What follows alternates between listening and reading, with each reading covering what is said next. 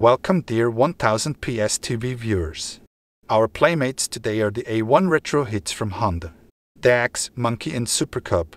Of course we could have done a dead serious test. But we do it the Austrian way. Stay tuned, it will be a fantastic video.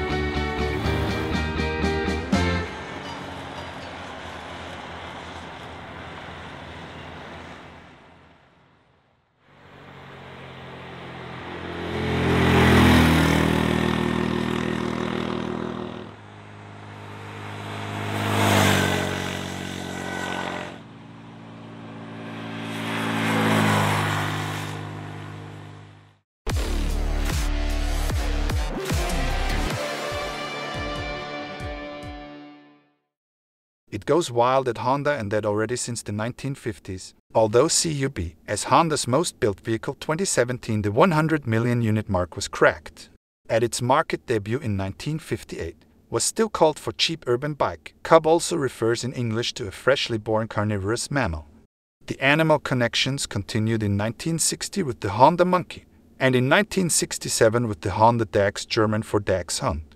All three historic beasts shared a 50 cubic single cylinder engine and the nimbus of indestructibility. For 2023, after the Monkey and Super Cub, the Dachshund has now also been revived. He is allowed to borrow the engine, chassis, and suspension from the Monkey and the semi automatic four speed gearbox from the Super Cub. As with its sibling models, the engine displacement has also grown to an impressive 125 cubic centimeters. In order to be able to legally put the power of the three Hondas of just under 10 horsepower on the road, a Class 1 driver's license is now required. Alternatively, car license holders in Germany can enjoy the small animal motorcycles by means of the B196 additional training, or in Austria with the code 111. Let's move on to the practical suitability of the Three Musketeers. Even if the three bikes seem dainty by today's standards, compared to their forebears they can almost be described as huge.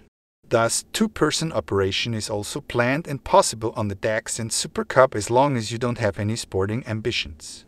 When it comes to storage space, even the Super Cub has to make concessions compared to modern scooters. Nevertheless, the three bikes with their low weight, Monkey 104 kg, Dax 107 kg, Super Cub 110 kg, all fully fueled determined on the incorruptible 1000 PS cow scale, are practical. Thus, due to their small dimensions, they can easily be taken along on the back of the motorhome or other vehicles with an appropriate drawbar load on the trailer coupling and used at the destination as a means of transport for the last kilometers to the beach or to the next town. It is usually sufficient to fill up the 5.6 liter tank on departure, and the incredibly low fuel consumption enables ranges of more than 300 kilometers. There is no need for illusions regarding acceleration, and top speed, 11 newton meters and just under 10 horsepower are not values that are enough for victory in the quartet. Due to the low weight, however, you are at least no obstacle at the traffic lights for the cars you just effortlessly cheated past. Depending on the driver's size, and weight, all three reach the 100 km per hour mark sooner or later. So you can definitely plan for overland stages or a few. However, caution is advised during overtaking maneuvers. Speed differences of 20 km per hour can be realized in the slipstream of the truck, but if you then overtake, you can observe the decay of the built-up speed surplus on the speedometer. At the latest at the level of the driver's cabin, it becomes tough and possibly risky, since a 40-ton truck has generously dimensioned blind spots in which you can easily disappear in the saddle of the small Hondas. So it's better to turn off the throttle a bit and enjoy the landscape. The prices for Honda Super Cub, Monkey and Dax are ambitious at first glance. However, if you consider the high quality workmanship, and attention to detail with which Honda has considered the small vehicles and take a look at the good value retention of older models, of which other 125 bikes on the market can only dream, the acquisition costs are put into perspective. In addition to the already mentioned low consumption, the costs for tax and insurance are extremely low. As with all two-wheelers, parking tickets in short-stay parking zones are usually not required. The small space requirement of the 3 Retro 125 bikes allows you to find a place almost anywhere. The tires last forever due to the low load from the drive, and wearing parts and service costs are also low, so you can get through the year well even on a small budget. The Honda ST125 DAX, as the Dachshund is called by its full name, was introduced in 2022 and has been available for a short time. The semi-automatic with four-speed steps is for motorcyclists. Initially get used to there is, after all, a reverse shifting scheme and no clutch, aggravating the fact that the DAX in contrast to the Super Cub without gear indicator must get along. But hundreds of millions of buyers of this system in Asia can't be wrong. For buyers who change from the car, the entrance and the learning of this transmission operation is surely easier than that of a conventional motorcycle transmission. For example, it is virtually impossible to let the engine die.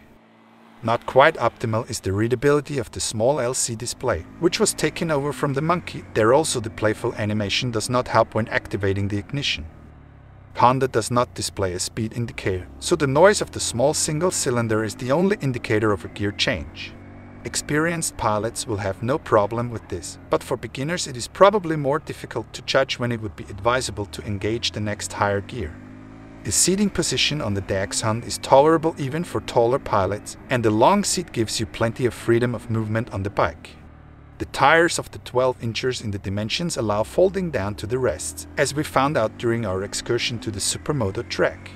The small maneuverable DAX Hunt simply makes a lot of fun and is the right choice for all those who would like the Monkey in principle, but want the possibility now and then to take a passenger.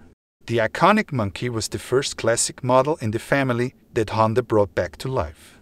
Since 2018, it has been back in the lineup as a 125cc, which means we already have a few reviews of the Honda Monkey 125 online, and I'll keep this paragraph rather short. As a fleet vehicle from 2018 to 2020, it has earned a fixed place in the heart of the 1000 PS editorial team. There is probably hardly a more accessible motorcycle on the market. For the 2022 model year, Honda donated a fifth gear, which is designed as an overdrive to lower the speed level on longer stages. The motorcycle transmission also allows wonderful first wheel attempts, which can be easily initiated with the Monkey. It has to put up with the criticism of the display like the Dax Hunt.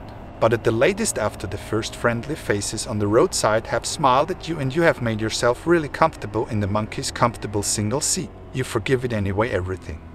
The most practical part of the trio, and descendant of the legendary Honda Cubs of the 1950s, has been revived by Honda for Europe 2019. Initially designed as a single-seater, there is now a full-fledged pillion seat. In terms of driving dynamics, it scores particularly well in terms of the stability provided by its large wheels. The grip with the tires in these dimensions, however, is finite. A certain amount of caution is advised, especially on slippery surfaces or in the rain. Speaking of bad weather, the apron at the front offers a satisfactory level of wind and weather protection that pilots of Monkey and Dax can only dream of. The speedometer unit consists of an analog speedometer and a small digital display that prominently houses the gear indicator. Without offering anything spectacular, it puts its 125 cubic centimeter siblings to shame in this category. One feature that not many A1 bikes offer either is the keyless go system. The key can therefore remain casually in the pocket when parked in front of the cafe. Controversial, the Super Cub offers a main stand, which makes parking in front of the cafe a little less casual.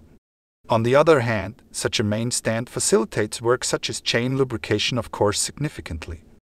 Conclusion on the Honda Super Cub C125 2023 Honda continues to position the Super Cub C125 in our latitudes as a stylish piece of jewelry, while in Asia it is used as the ultimate workhorse and packhorse.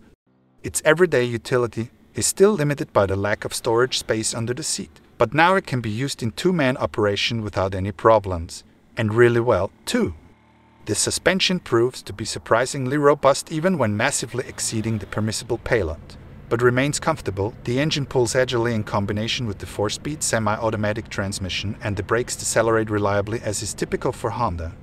The big trump card is the unique look, which lifts the Super Cub into the ranks of the usually more expensive 125 cubic centimeters noble scooters and motorcycles. Conclusion on the Honda Monkey 125 2023 if you look for the word joy in the dictionary, a picture of the Honda Monkey 125 should appear right next to it. It is the perfect motorcycle for those who do not take themselves too seriously and are looking for a cult fun bike because no matter how exhausting the day was at work, school, etc., a short ride on the Honda Monkey 125 makes you forget everything quickly. But don't be shy, because no other A1 bike is such a magnet for curious looks that quickly turn into big grins. The Honda Monkey 125 is synonym for fun on two wheels. Conclusion on the Honda DAX 125 2023. The DAX Honda is back. The animal fun machine for two from the house of Honda is an absolute eye-catcher. Whether A1 driving license, code 111 or B196, the hurdle to overcome to enjoy the DAX is low. The semi-automatic is unusual for motorcyclists, but still practical. The compact lightweight finds its place everywhere and is frugal in consumption. Welcome back on the decks. Thanks for watching this fun test subscribe to our channel, then you will not miss any videos and leave a like if you want to.